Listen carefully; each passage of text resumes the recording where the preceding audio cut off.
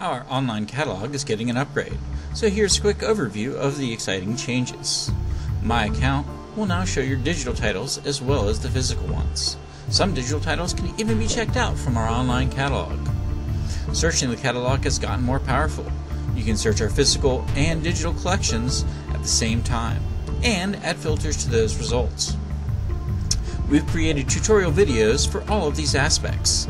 Continue to the next lesson to learn about accessing your account online, or you can skip to information about our digital collections, searching, and advanced searching.